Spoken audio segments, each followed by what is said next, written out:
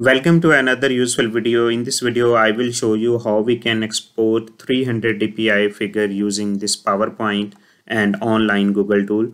So what we have to do first, we will export this figure as PDF. So we can go to file and export a PDF file of this. So I can save a PDF. We can see now our PDF has been generated so now we can upload this PDF to the Google website. So uh, here is Google and you can simply write like uh,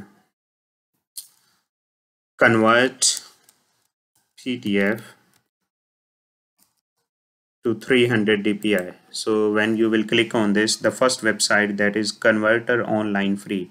So you can just simply click on the first website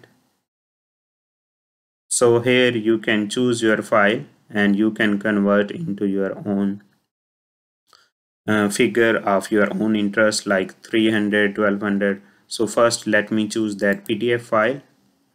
So i have saved that in desktop in this folder.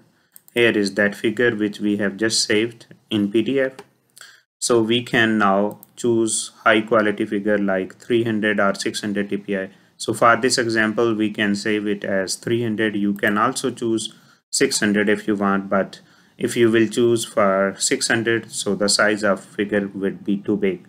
So I would recommend you to use 300 dpi for your research articles. So after clicking this, you can simply click on convert.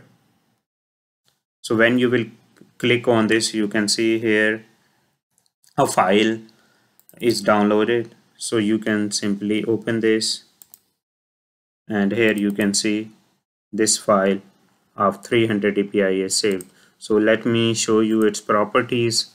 Uh, let me uh, go here and uh, we can cut and take back to the desktop and paste here so that we can check its properties.